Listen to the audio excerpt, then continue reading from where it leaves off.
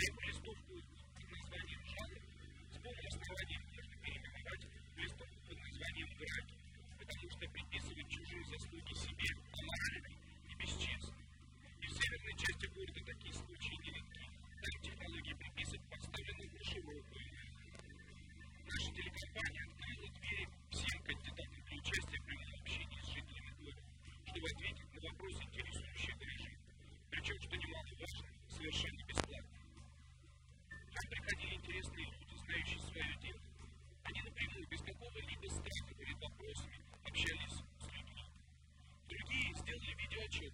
Шумова.